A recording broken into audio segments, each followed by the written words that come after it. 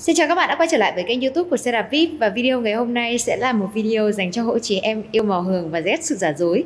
Và xin giới thiệu đến các bạn mẫu xe đạp thể thao Merida Victory 500 dành cho tất cả các chị em phụ nữ nhé. Hiện tại thì xe đạp Merida Victory 500 đang sở hữu mức giá là 7 triệu 990 nghìn đồng theo giá niêm yết của website tại xe đạp VIP, một thương hiệu thuộc xe đạp 88.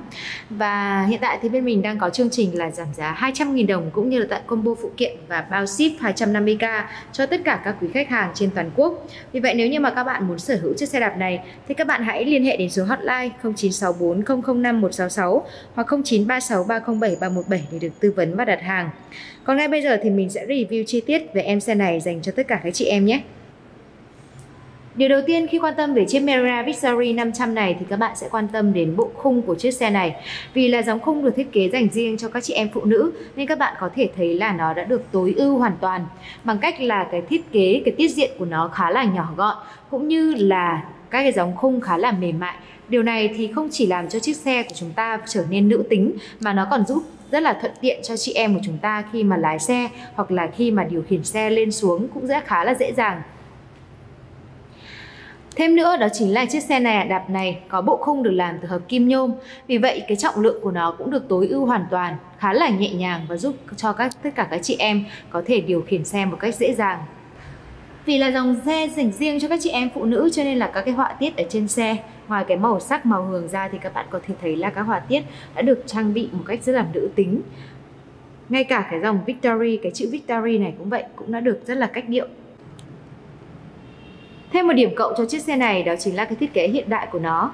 Các bạn có thể thấy là phía phần cọc yên được thiết kế bằng à, nhôm khá là sáng và có cả mở khóa nhanh. Và cái việc mở khóa nhanh như thế này thì giúp chị em có thể tự thao tác được một cách nhanh chóng để điều chỉnh chiều cao yên xe theo chiều cao cơ thể của mình. Yên xe thì được thiết kế khá là mềm. Và nếu như mà đối với những cái chị em nào mà đạp xe quá, xa quá thì các bạn nên sắm cho mình thêm một cái bọc yên nữa. Yên xe thì cũng không quá là mỏng quá đâu. Tuy nhiên thì nếu như mà đạp xe xa thì đảm bảo ờ, cho cái sự thoải mái nhất thì các bạn nên sắm một cái bọc yên về phần tay nắm của xe được bọc thêm một lớp nỉ khá là mềm cũng như là cái phần ờ, cái chiều dài của cái tay lái này thì nó khá là ngắn. Ờ, bởi vì là cái thiết kế này là thiết kế dành riêng cho chị em phụ nữ mà, nên là các bạn sẽ thấy là nó xe được thiết kế làm sao để cho các chị em có thể điều khiển xe một cách dễ dàng nhất. Tay để số Shimano.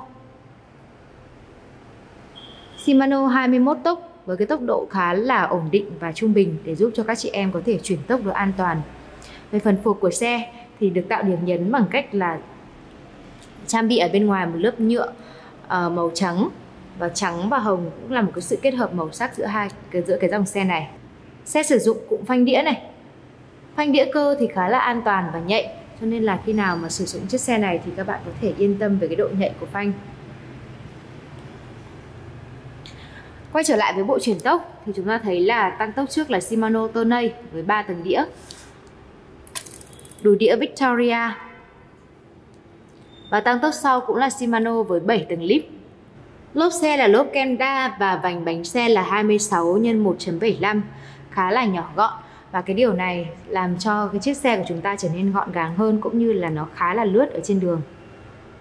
Và cũng như ở trên đầu video mình đã nói nếu như mà các bạn nào mà muốn sở hữu chiếc xe đạp này dành cho vợ, dành cho người yêu hoặc là dành cho con của mình để đi học thì các bạn hãy nhanh chóng liên hệ đến số hotline 0964 005 166 hoặc 0936 307 317 để được tư vấn và đặt hàng.